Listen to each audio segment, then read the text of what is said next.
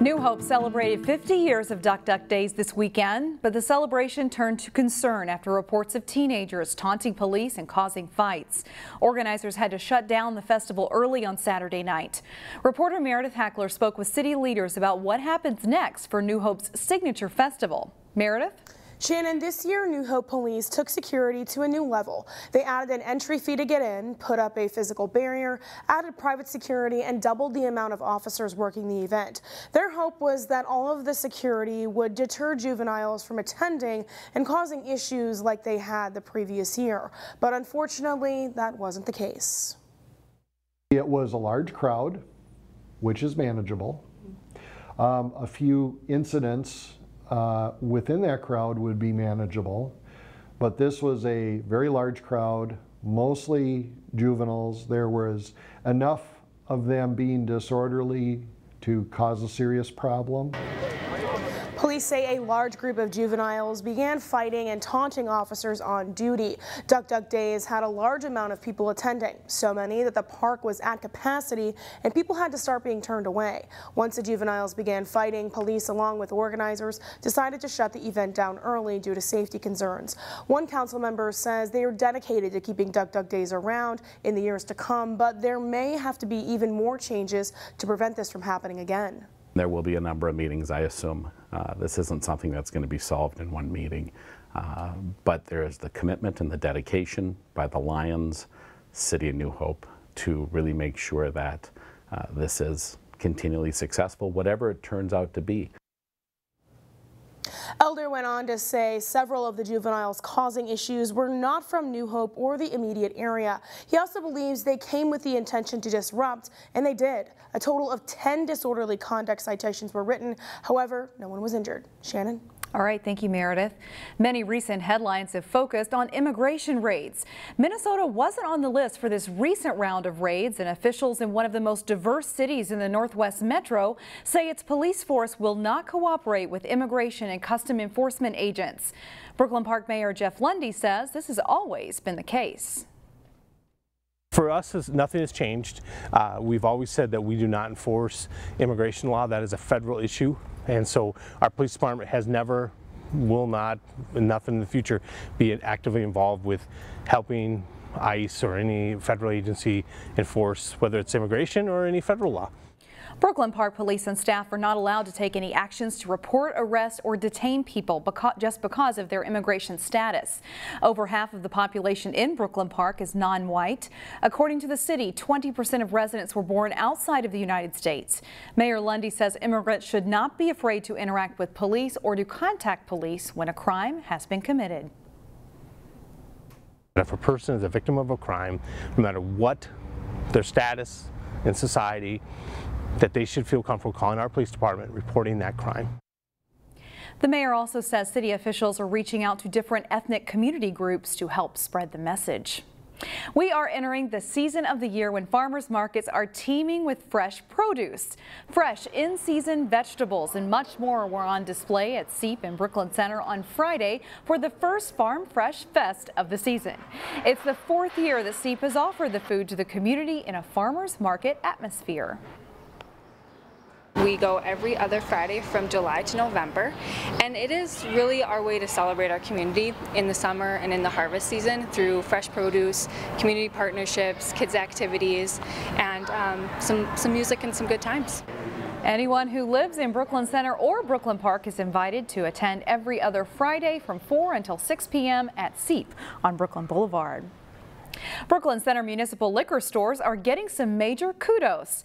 The city operates two off-sale liquor stores and they recently received two honors. The Minnesota Municipal Beverage Association awarded Brooklyn Center a Best Business Development Award for its new customer rewards program. The city also took home a national award from Beverage Dynamics, which named Brooklyn Center Liquor a top 100 retailer. And this was for kind of overall. It wasn't for any one specific program, mm -hmm. but it was for our BC Bucks rewards. It was for our rare beer releases, different events that we do, like our um, uh, Red, White, and Brew, uh, things like that. Brooklyn Center opened its first municipal liquor store back in 1949. Next year, the Xerxes Avenue store will be moving to a new location, which is about two blocks away on Shingle Creek Crossing. A change is coming this week to local Lunds and Byerly stores. The last day the pharmacies inside of the stores will be open will be Tuesday, July 16th. This pertains to all 24 stores in the Twin Cities, including the stores in Maple Grove, Plymouth, and Golden Valley. A statement on the store's website says the pharmacies have been losing money and it's no longer feasible to operate them. All pharmacists and pharmacy staff will lose their jobs. Prescriptions not picked up will be routed to the nearest Walgreens store. A new mural in Rogers pays tribute to the city's past.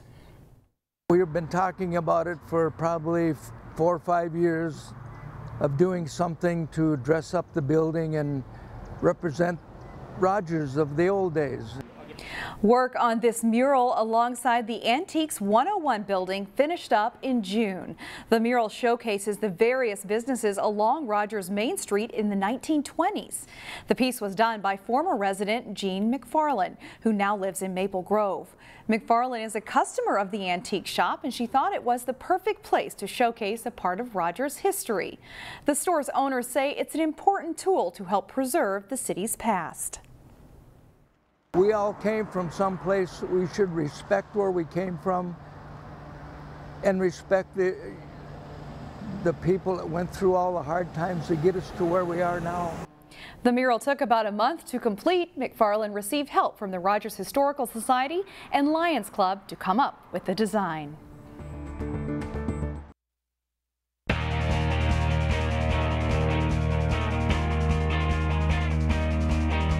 96 team Gopher Classic American Legion Baseball Tournament is whittling down teams with the tournament championship coming up Tuesday afternoon. Wayzata faced Maple Grove in a pool play round game Sunday evening. Bottom of the first in Maple Grove's Jeremy Click sends a ball to left center field that drops for a hit right center field. Brady Hubbard comes around third and slides in with the first run of the game. It's 1-0 after one. Wayzata answers when Nick Kay drives one deep to left. This one hits near the base of the fence. Both Charles Engdahl and Keegan Nickel score on Kay's double to give Wayzata a 2-1 lead.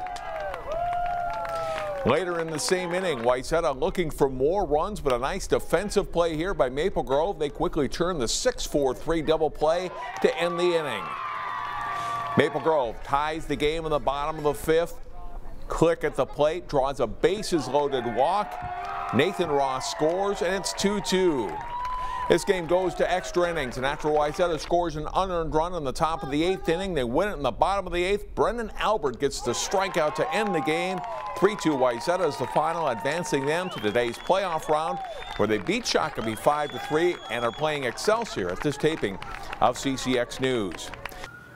At Robbinsdale Whizbang Days, the Osseo Maple Grove Blazers faced Irondale in the tournament championship for the 14-15-year-old bracket. Bottom of the first, Irondale's Walter Patterson slices a hit to the left field fence. Leroy Vardez scores, and they take a 1-0 lead after one inning. Irondale pitcher Sam Franzen was tough to hit off. He gets a strikeout to end the top of the second inning, stranding two Osseo Maple Grove runners on base. Top of the fourth, the Blazers' Sam Wolkerstofer singles down the line. It gets out to left field in a hurry. Ben Ruth and Tyler Becker score, and Osseo Maple Grove is up 2 to 1. The Blazers' Reed Lewis strikes out seven Irondale batters in four innings of pitching to keep the game close. It's 2-2 after six.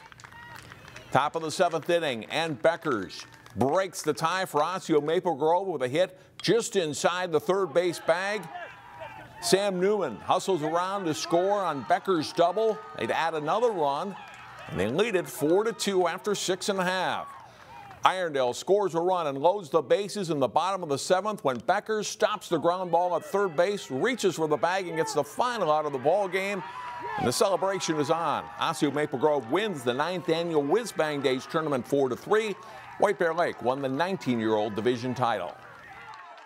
The five-day USA Cup soccer tournament gets underway Tuesday morning at the National Sports Center. One local team claimed a championship Sunday in the three-day USA Cup weekend tourney. The Fusion SC Select team from Plymouth won the boys 17 red division Parker Voida scored the match's only goal on that penalty kick. Fusion wins 1 to nothing over a team from Sioux City, Iowa. The players got first place medals and the team received a trophy. We'll have more on the USA Cup week long tournament throughout the week here on CCX News. It was a bull riding bonanza at the 39th annual Hamel Rodeo. CCX Sports' Jay Wilcox caught the sights and sounds of the performances in Corcoran. We're glad they're with us here tonight as well, our visiting royalty.